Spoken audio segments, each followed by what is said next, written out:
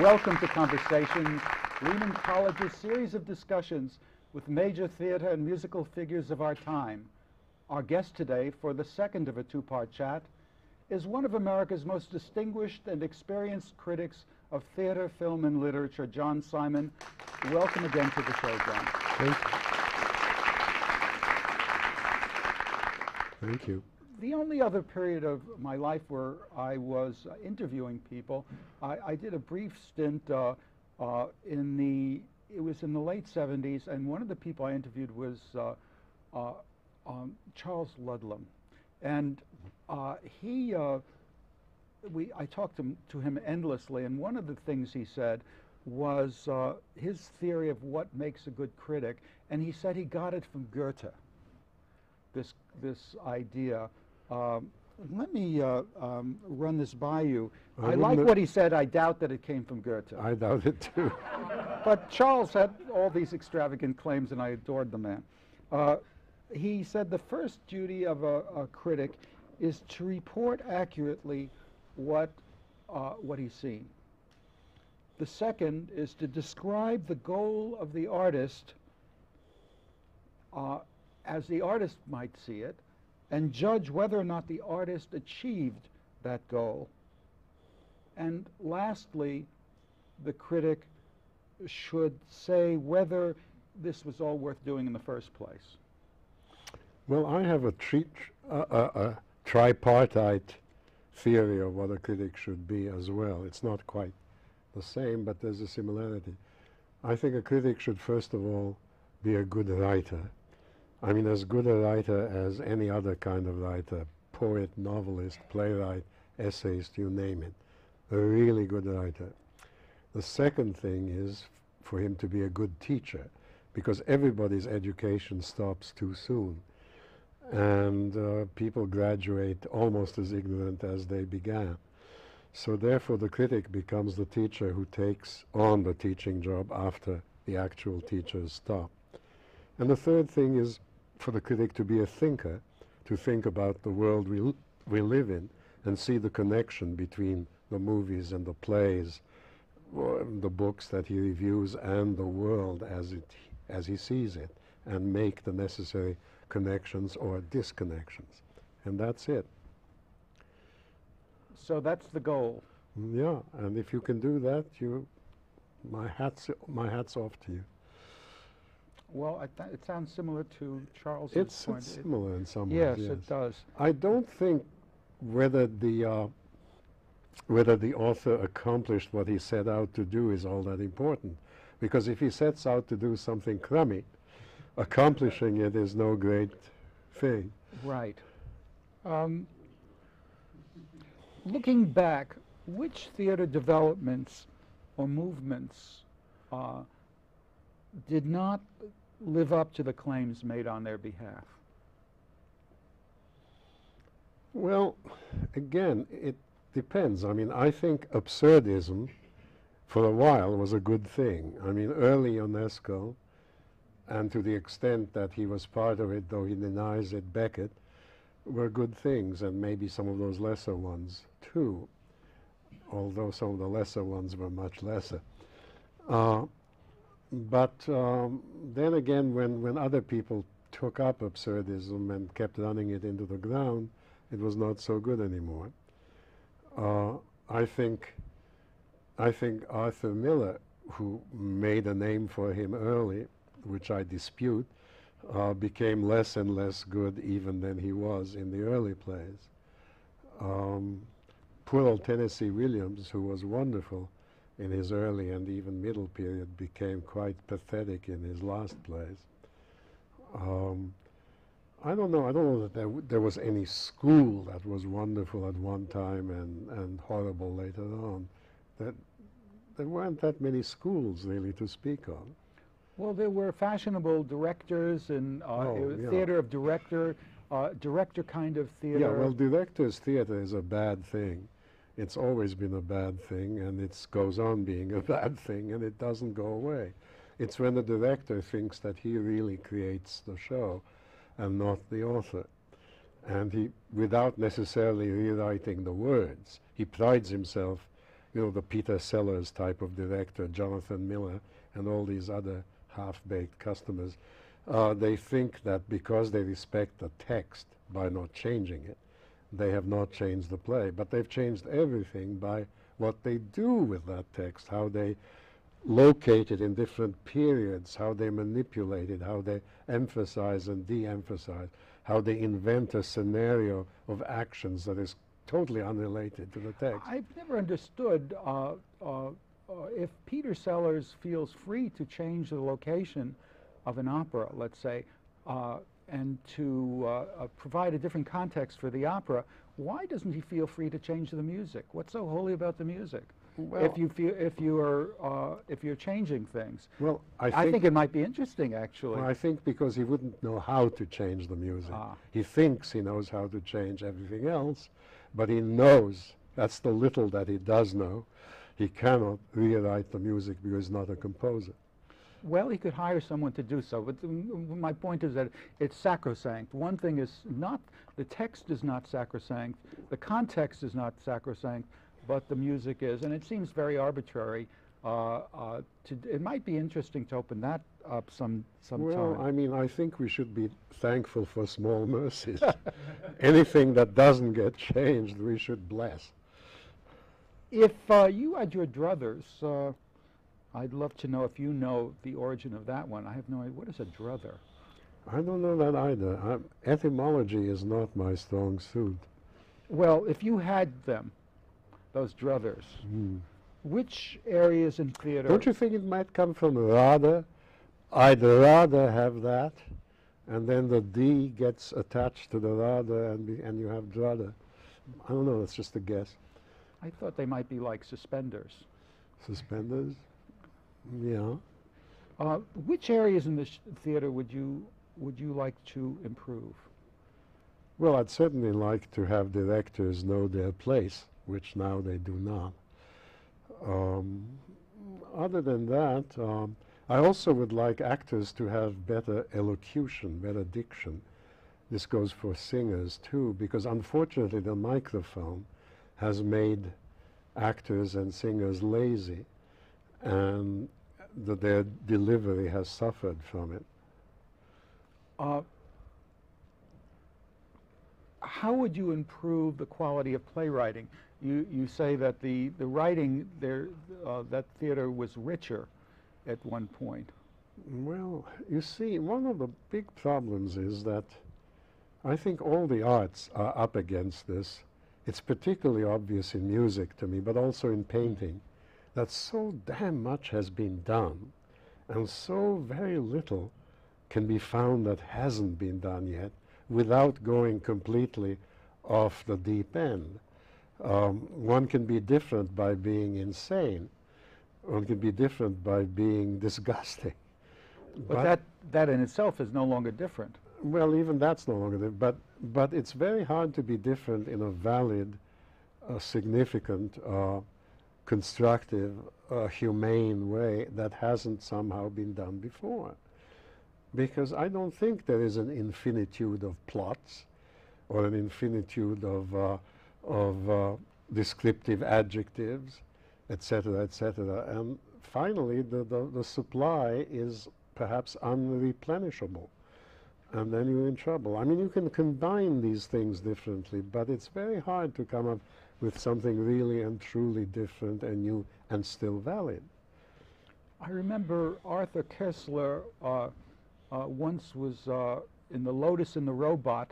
Uh, uh, his uh, claim that Japan had run out of, mathematically, had run out of new haikus in the 18th century, that there are only a limited number of haikus possible in the ja- I, I don't know Japanese. This could all be nonsense as for all, as for all I know. but it's a thought. Uh, I've never heard that expressed. I don't know. When you exhaust the haiku, you can always try the low cue. Uh, are you envious of theater in other countries? Yes, yes, in England, certainly. What are you envious about? Well, I mean, the English are more open to literary plays. Over here, it's mostly entertainment. and everything else comes second or third. And in England, they, I mean, it's gotten worse because they've become Americanized, as has the continent.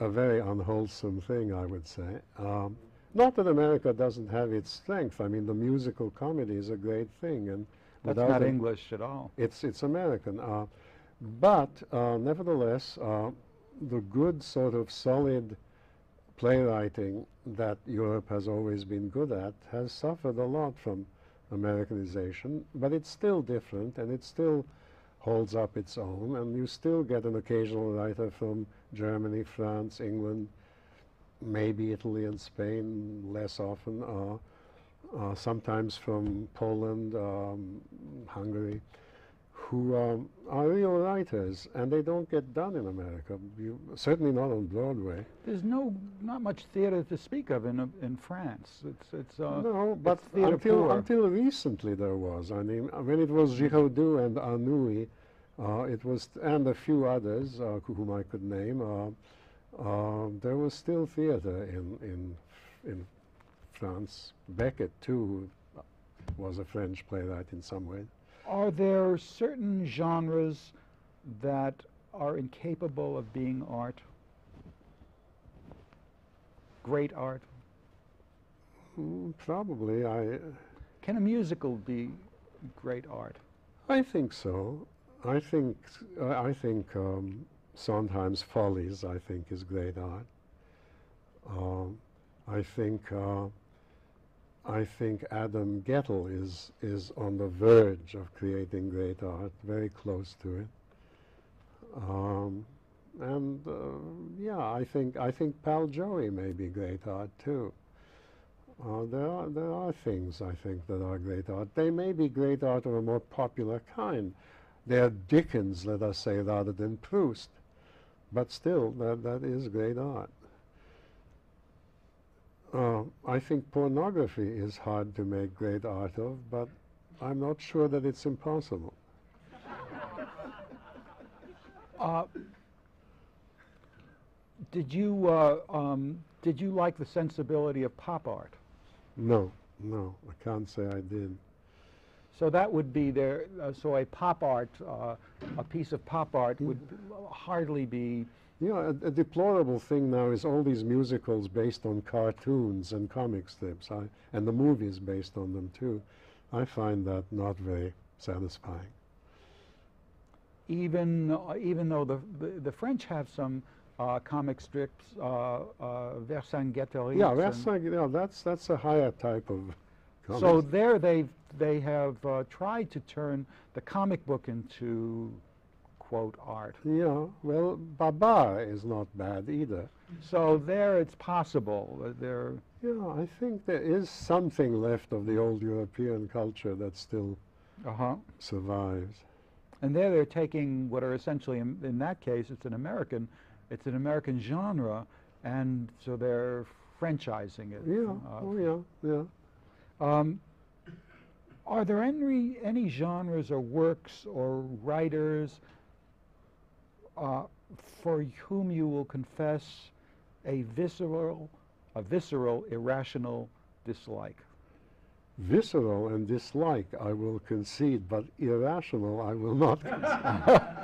So you'll back. You have no. What I'm driving at is, did you have a, a, a prejudice Oh, that you can confess to? yeah, well, I don't think of them as prejudices. I think they're Okay. judices, not prejudices. Okay. David Mamet, for one, who I think, Uh huh. Tony Kushner, for another. I think these are pretty awful people. Uh, they're not totally without talent, I don't dispute that. But the bad in them far outweighs the good. And you see this as taste, your taste, rather than a.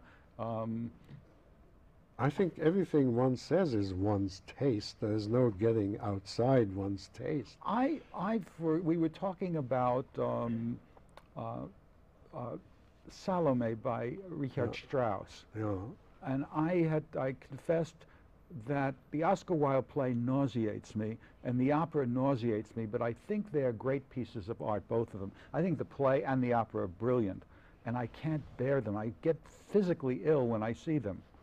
I just can't stand the taste. Is there? Well, I don't uh, know. I think that's my that's my problem with them. I, I think Salome has, has a great relevance to our time. Just- Absolutely. Just, think if all these great born again Christians had their heads lopped off, it would be a much better world. Um, it, it didn't disturb, it, I, um, I see this as, as a, uh, a limitation of mine. And, uh, well, I suppose I could rationalize it. Um, Yeah. I could figure out a, a theory to go along with that. Yeah, well, I think it's true. I mean, no one has a taste from A to Z. I have no use for Mozart. I have no use for Bach. I have very little use for Beethoven. I'm sure in the eyes of most people, and certainly in the eyes of more musicians and people who write about music, as I do, that's a sin against the Holy Ghost. Nevertheless, uh, Mozart and, um, and Bach bore the pants off me. And since I'm not an exhibitionist, uh, I don't see any point in that sort of thing. Have you ever considered reviewing television? Uh, no, no, because I'm even tough on respectable forms. So on television, I would be intolerably tough. You're not a fan of uh, a cable TV, HBO, or um, Yeah, they do things occasionally that are good. I'm no doubt about it. Uh, Six Feet Under? Um, so I'm told. I haven't really seen haven't- Six Feet Under. oh, Uh, but uh, it's hard enough to keep your head up six feet above. Um, Sex in the City, it hasn't lured you? no, No. not nothing that has Sarah Jessica Parker in it will ever lure me. I see. Uh, there we have to agree to disagree. Uh, she's a neighbor of mine, and I adore her. Well, maybe I live in the wrong place. Uh, I noticed that uh, uh, one of my favorite reviews that I, I saw of yours was uh, your review of The Green Bird, I which like I, that. I understand is coming back. Nobody else seemed to like it. I know, uh, and I I uh, I felt that it was one of the best things of, of that year, and it's it's being brought back. I Well, Julie Taymor is very talented, and now that she has sort of made it with, you know what, um, I guess perhaps her other works will come into their own as well. And I'm uh, I'm I was really particularly interested because I'm directing uh, the Blue Monster by the same writer here in the in the spring of uh, it'll be the spring of 2007. Who is the same writer? Uh, uh, Guzzi, Carlo Guzzi. Oh, Carlo Gozzi, yes. of. And uh, uh, to a lot of people, find him an obscure writer. To me, No, he's not. He's obscure, but undeservedly so. uh, interesting writer. You know, yeah. And um, and I, I find that uh, uh, in your writings, I, I find a quirkiness that I find very uh, refreshing. I never know what I'm going to find. That I've been told by other people that they can't predict which. way- Sometimes it's infuriating, but I, Yeah. I find it uh, uh, unpredictable. Yeah, I have nothing against being predictable if that is right, but so often it's not right. And being unpredictable has a good chance of opening up doors that should be open. If you were a young, uh, one of my young students here who wants to be a critic, uh, what would you suggest that person do? Well, I think it's important to read more. People don't read enough. They watch television too much, they play with the computer too much, they do all kinds of other things uh, too much. Um, I think it's very important to be a well-read person because that's the only easy way to get at all the great things of the past. If you wait for them to appear on television, you'll grow wait a long Yeah, time. Yeah. Uh, are there any areas that uh, critics should cover now that they're not covering?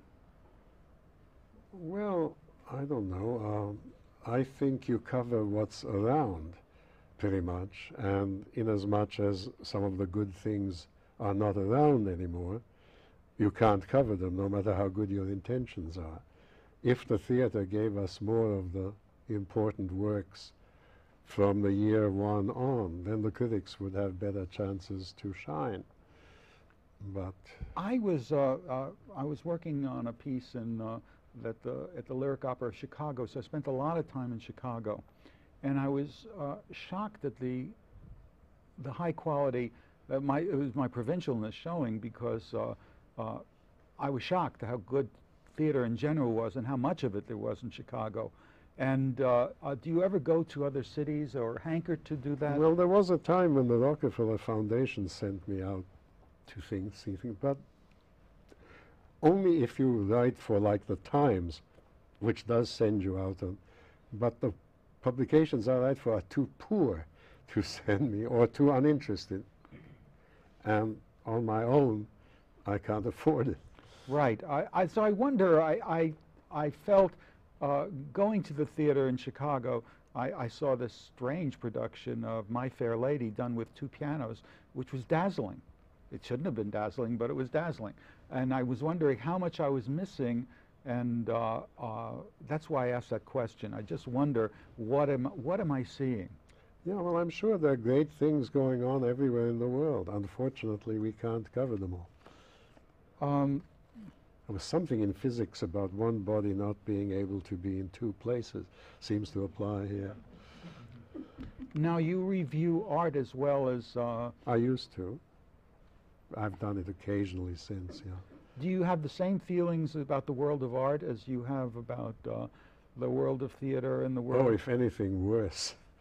worse. Like. Uh, I think much of modern art is absolutely deplorable, unspeakable. for any particular reason? Uh, um, Well, again, it's it's the thing of of having painted themselves into a corner. They have to go somewhere else, and the only other place after the corner is the loony bin, and that's where they're ending up. When when you when when when a shark becomes you know a, a processed shark becomes a work of art, we're in big trouble. you mean uh, uh, Damien Hirst. or vivisection? Uh, not Well- vivisection, but dissections of bodies. Yes, that. Well, but I mean also a lot of abstract art. I find, you know, starting with Jackson Pollock, I find It leaves you cold. uncountenanceable. Uh, are you a, a fan of the uh, painted bird, the uh, uh, Tom? Um, why am I blocking his name? Uh, wonderful book on. Uh, Or Kosinski, Uh, Jerzy Kosinski. the, no, the painted word. oh, the painted word. Yeah, Who, who, what's is that? Tom. Uh, Tom Wolfe. Tom Wolfe. Uh, yeah, that, I thought that was an underestimated book for obvious reasons. Uh, do you think that uh, it's for the same reason art has gone, in your opinion, has gone downhill for the same reason that uh, theater has, uh, that we've run out of uh, subjects and or treatment or music has suffered in the same way too.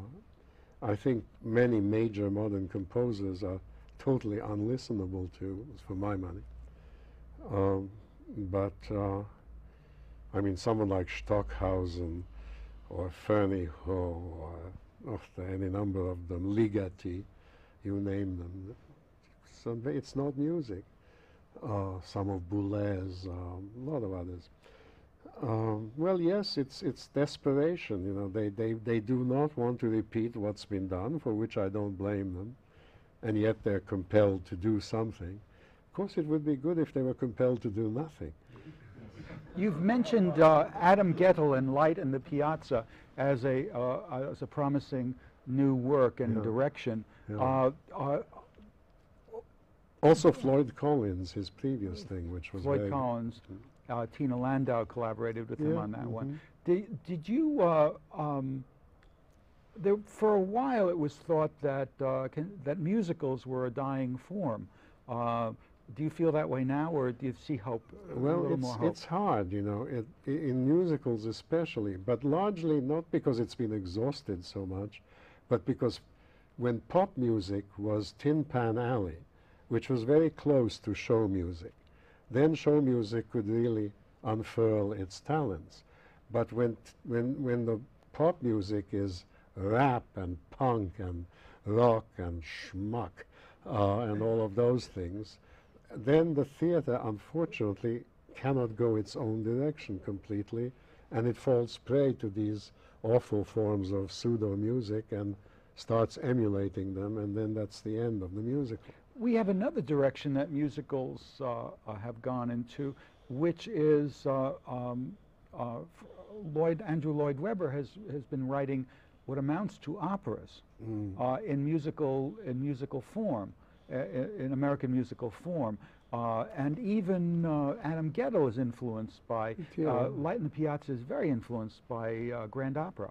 Sure, Uh, but again, it depends on who, who or what your influence is.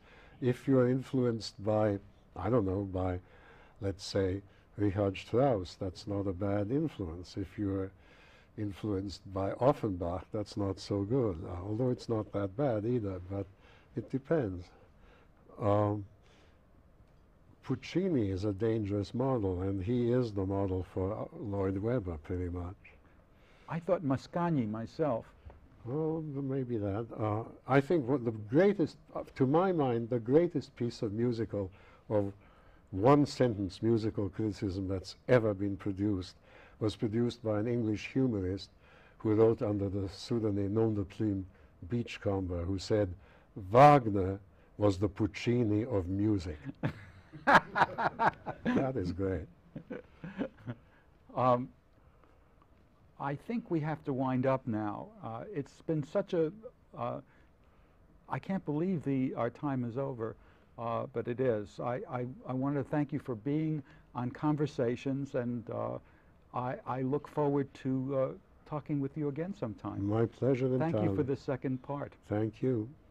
Uh, thank you, our studio and theater audience, for coming today to Conversations. Uh, we'll see you again.